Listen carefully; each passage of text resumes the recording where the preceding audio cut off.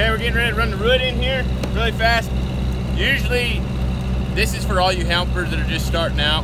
Usually your welder's gonna have a heat that he wants to be on. So right now we're starting on 30. We're gonna go from there because we're in fourth gear.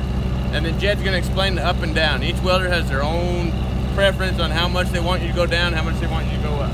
Yes. Jed, 30. You are on 30. Down 10. Down 10. For anybody that's never done this before, when he says down 10, yes, it means go from 30 to 20. Down. Down means go down 5. Yeah. What it does is it changes the heat that is going through that rod right now. Turning it down makes it less heat. Turning it up makes it more heat. Jacob in fourth gear. Now I'm used to third gear, okay? We don't usually go into fourth gear very often, but when we are, he will start his bead, usually on 30, depending on the type of gap. If it's a good gap, we'll start there.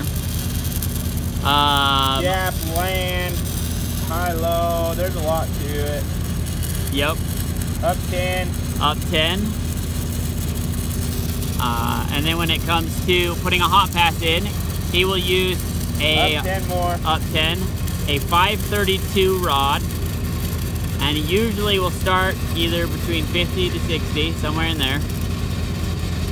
And Once then, you guys have helped the welder for so long, like, you just kind of memorize where he's going to be, yep, and then he'll tell you from there. Up 10 more. up 10. After that, he will put a filler in with a 3, uh, 3 16th, right? Yep. Okay, 3 16th.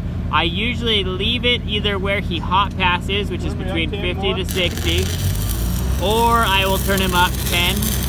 Usually right in there is where he likes to, to fill with. And then when it comes to capping in fourth gear, I'll probably bring him down to 40, 35, 40. Play between that.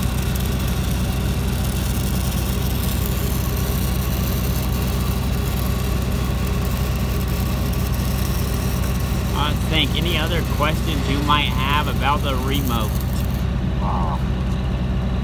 Um, when you do it, be snappy about it. When he says go up 10, try to be ready right then. Okay, 30? 30. The only reason I repeat everything Jake says is because when we first started, I was really bad. I don't know what's going on with my hearing, but half the time he'd say up, I'd turn him down, and half the time he'd say down, I'd turn him up. So, I repeat everything he says. Not all welder and welder helper groups do that. Up 10. Up 10, 10 more. up 10.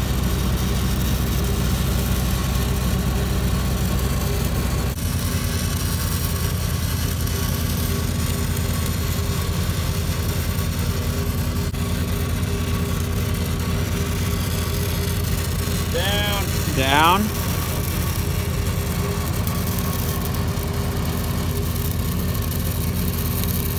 Now if you listen, he's getting close to finishing. Up 10 more. Up 10, 10 more. up 10. Almost, one more rod. Okay guys, usually usually when you're running your bead in, it's not near as much up and down, up and down, but this freaking is wavy and tight and wide and tight. Oh, there's a lot of different shit going on right now.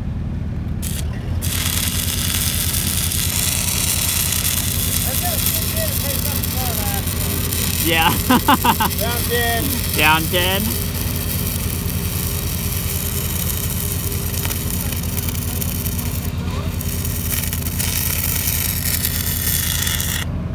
Okay, so he's done. So then I will set his remote to where he hot passes before I go and grind so that I'm already ahead.